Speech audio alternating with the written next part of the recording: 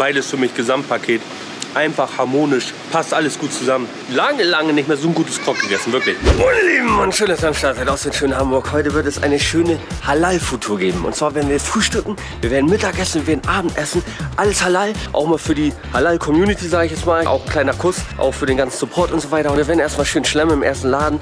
Äh, und ja, ich bin gespannt. Und denkt dran, auch in diesem Video wieder 50 Euro random an irgendjemand aus den Kommentaren. Knallt mir die Kommentare voll. Auch gerne natürlich mit euren nächsten Zielen. Und dann klapper ich die mal ab. Jetzt geht's Ankara Kebab. Äh, Frühstück. Ich glaube, ich werde mir zusätzlich zu meinem Frühstück dann auch noch ein Tantuni gönnen. Baileys, Tony don't miss me. Ballin' like Houston, ayy, feeling like Whitney. I need a bag, bruh. Send it through quickly. I'm making his dog, like I'm in the big leagues. Told him that I gotta go, dog. Diesen Laden auch von euch empfohlen in den Kommentaren.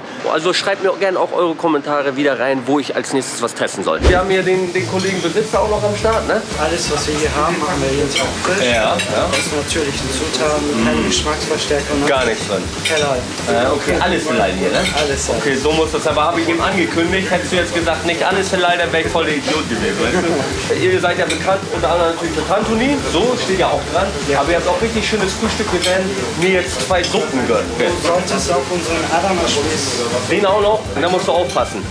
Weil ich bin Adana Experte. Das könnte sein, dass es kritisch für dich wird in der Bewertung. Will- Willst du dich drauf einlassen? Ja? Okay, okay. Wir nehmen auch noch deinen kleinen Adana Spieß. Wunder dich nicht, ich schlängel mich hier an dir vorbei. Oh, das wird aber knifflig hier, wenn ich mich hier... Oh, mein Lieber. Gleich ein Zelt hier in der Hose.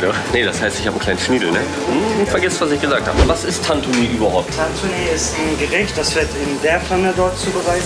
Ja. Ja, das Fleisch wird angebraten, vermischt mit Wasser und Öl, mit Paprikapulver Ja. und dann in so ein Brot eingerollt. Ah, okay. So, das Fleisch ist schon fertig, das braten wir nur an. Vorher wird das Fleisch eingekauft, gesäubert, geschnitten, gekocht.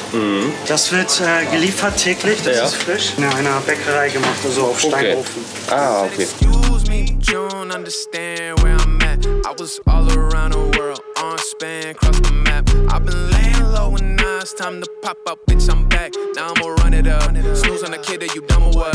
You better go get your numbers up. Now throw me the oop. I gotta hire a Jerry Maguire. I'm tired of hearing it. Show me the loop. Leg hier mal los mit dem Tantuni schon mal, bevor das kalt wird. Man soll da wohl Zitrone noch mal reintröpfeln, das soll noch geiler sein. Das mache ich jetzt auch.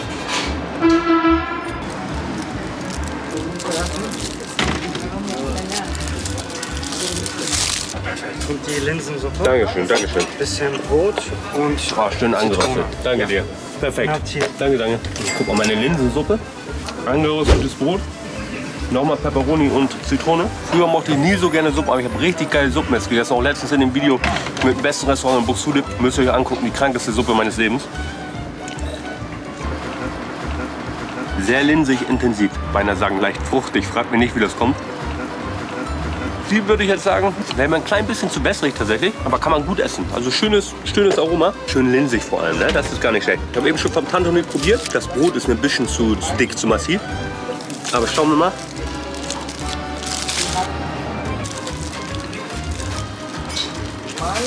Ja, stabiles Tantuni. Kann man nicht anders sagen. Also schönes Fleisch, gutes Fleisch. Schön mager, fällt mir eigentlich. Weil eigentlich wollte ich nur eine Suppe fressen. Aber wie das so ist, dann heißt das Tantuni da. Und probierst es auch noch. Werd auch noch einen Adana jetzt kurz probieren. Und dann gönnt sich sonst nichts. Ein kleiner Laden. Also da ist wirklich viel los. Die Leute sind begeistert hier.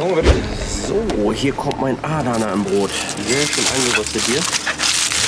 Das macht Hunger auf mehr, in der Tat. Ich weiß nicht warum, ich werde unten anfangen. Direkt auf eine Peperoni gebissen.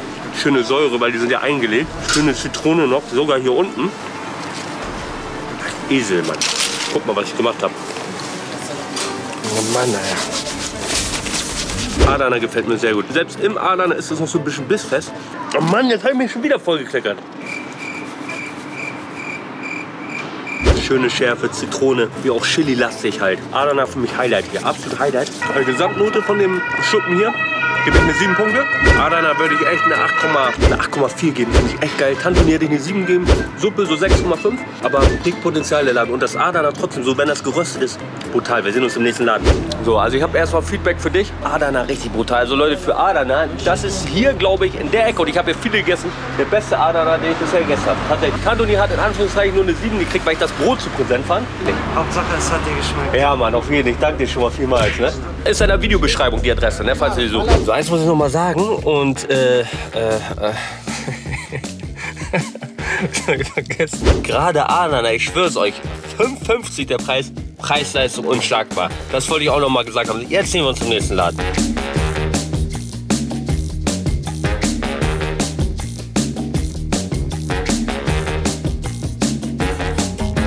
Bevor es weitergeht zum nächsten äh, Stopp essen, zeige ich euch mal ganz kurz einmal noch mal Eier rasieren im Auto. Ganz kurze Werbeunterbrechung für Manscaped. Ein Monat Rückgabegarantie, gebraucht alles. Deshalb probiert es aus. Ich habe ja auch am Start einen Nasen- und Ohrenhaarrasierer mit der gleichen Skin-Safe-Technologie. Ich möchte euch heute äh, zum drei Monats Programm quasi verführen zum Abo. Da kriegt ihr alle drei Monate dann die Sachen, die ihr braucht, nach Hause geschickt. Ihr könnt euch auch in eurem ganz normalen Account einloggen. Ihr könnt da Sachen dazu buchen, wie zum Beispiel Ball-Deodorant oder normale Hygieneartikel wie Nagelknipser und so weiter. Gibt es alles am Start. Ihr könnt auch Sachen natürlich abwählen. Ihr könnt auch Lieferintervalle, also euren genauen Lieferzeitpunkt auswählen, verschieben etc.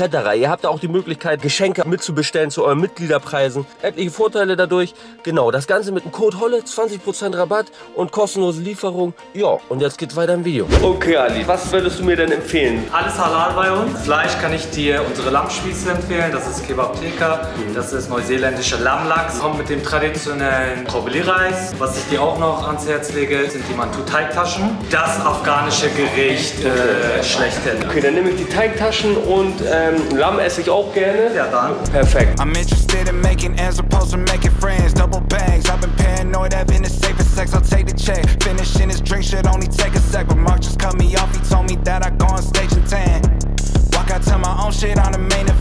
Ja, ich glaube, ich würde Lammhaxel dann nochmal probieren. Ja. Lammhaxel und äh, Teigtaschen. Die habt ihr schon vorbereitet, ne? Wir machen die bei uns auch selber. Also wenn du Gäste zum Beispiel zu Hause empfängst. Die sind hier sehr aufwendig in der Zubereitung. Ja. Und das ist eine Art Wertschätzung. Das ist also, Wertschätzung das ist auf jeden ne? Fall genau Wertschätzung. Da saß jemand Ja. vorher eine Nacht mindestens dran und hat diese Ja. Teigtaschen gefüllt. Was denkst du, würde deine Mutter machen, wenn du sie einlädst und du machst auf einmal Fertigpizza zu Hause? Das geht gar nicht. Äh, denkst du, sie würde dich aufhängen? Äh, das vielleicht nicht, aber ich glaube, das Erbe ist dann auf jeden Fall in Gefahr. Geil, dann gucken wir mal ein bisschen Da siehst du schon die Ah, da sind die, da sind die, ach, das sind auch die Spieße für mich? Das ist Spieß für Sie, das Oh, ist geil. Spezial Lammfilet. Oh, das riecht richtig, richtig nach Knoblauch. Da meinst du richtig, ist Knoblauch drin? Ja, ne? ist der. Ich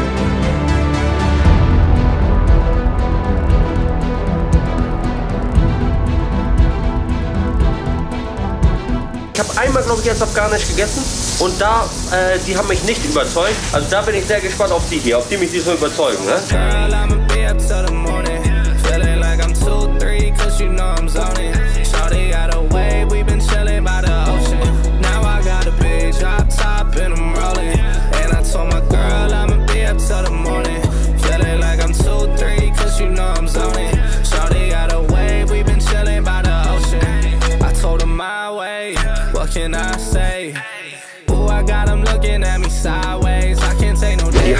hier äh, Neueröffnung gehabt, das ist ja in Eppendorf, sage ich mal, ein Reichengegend, nenne ich mal so in Hamburg.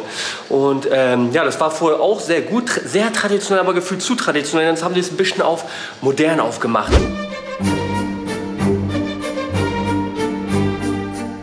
Wir haben hier die Teigtaschen, das ganz traditionelle Mantou, gefüllt mit Rinderhack auf dem Joghurtboden, Hacksoße, hier schöne Lammfilet auf dem Grill mit geilen Himbeeren. Äh, das sind karamellisierte äh, Karotten mit Sultanin und Lammhaxel. Auch geil aufgemacht, Joghurt, Minzjoghurt. Hier noch Granatapfelkerne drin. Oh, bombenmäßig, bombenmäßig. Fangen wir erstmal mit Mantou an, weil ich liebe einfach Teig. Teig. Oh, oh. Chancen gleich umgehauen hier. Oh, oh. Digga, Junge. Sorry. Schön Minzjoghurt dazu. Du hast halt eine leicht tomatige Soße von den, von den Tomaten oben, wird aber nicht zu präsent. Die Minze runden das perfekt ab. Du hast diesen typischen Zwiebel-Hackcharakter von drin. Teig dazu. Top. Ihr habt hier die schönen Karotten mit Rosinen drin. Ich liebe Rosinen, auch im Reis drin zum Beispiel. Mag ich sehr gerne. Äh, Streiten sich die Geister. Ganz genau. Streiten sich die Geister. Schön weich, lieblich. Reis, wie es sein soll. Da ist auf einmal dann diese, diese Früchte, diese Süße dazu. Du kommst auf einmal raus aus diesen deftigen und bam, kommst du wieder rein in diese Lammhaxe. Also ich, ich feiere das. Guckt euch das mal an. Das fällt auseinander. Da ist ganz viel Liebe reingeflossen. Ganz zart, das Fleisch, ganz zart. Ja, wie Esel haben die ganze von hinten gefilmt. Aber war ich so komplett schattig? Ziemlich, Digga. Ziemlich, ja. so, also wir haben die Spieße hier. Ich nehme die jetzt einfach mal voll auf äh, barbarisch, kann man das sagen? Ja? Mhm. Nehme ich hier raus und werde mal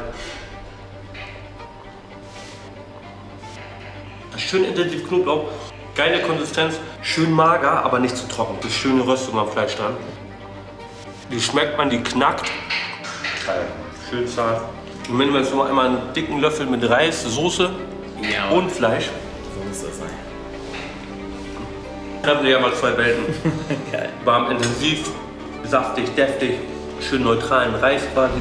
Schönes Essen. Ich werde durchweg eine 9 Punkte von 10 wirklich geben, weil ähm, das einfach alles passt. Hinten und vorne. Es ist kein irgendwie, oh, hier fehlt der Geschmack, hier ist zu viel, hier ist zu wenig. Ich finde einfach keinen Fehler an dem Essen. Es ist einfach durchweg lecker. Handwerklich top gemacht. Top, kriegt 9 von 10 Punkte von mir. Durchweg jedes Geil. Gericht. Hier kann man sehr gut essen gehen. Wenn man auf diese Art von Essen steht, da findest du kein Haar in der Suppe.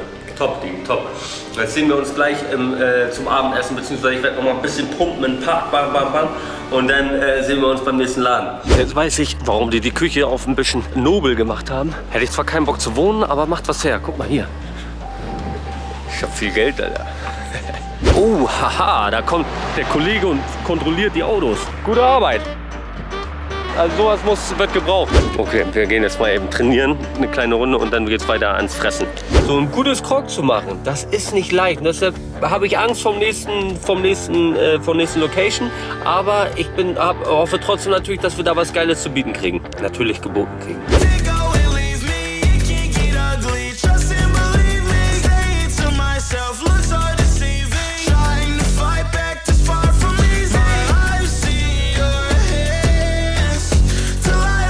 Also Bruder, ohne viel reden, ne? Mach mir einfach dein bestes Krog bitte. Komm mit. till I don't you know my heart turned cold, lost control. Looking at this beautiful distraction, fell in love with a fatal attraction. I really let my guard down, now relaxing. Why did I open up? She taking way too much.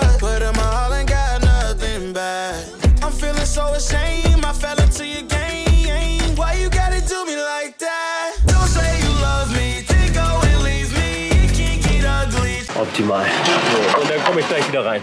Ich hatte erst ein bisschen Angst, zu viel Salat, ähm, aber die haben schon ordentlich Belag. Käse, Sucuk, hier die, ähm, und das Chicken, dieses Panade und das machen die auch alles selber.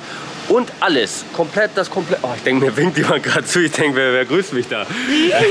ich Esel, ja. Hier könnt ihr essen gehen und es ist alles halal, für die Halal-Community. Chicken habe ich ähm, Knoblauchsoße und bei Sucuk ist Chili-Cocktailsoße drauf. Ist richtig knusprig geworden, hat man vielleicht in den Bio schon gesehen.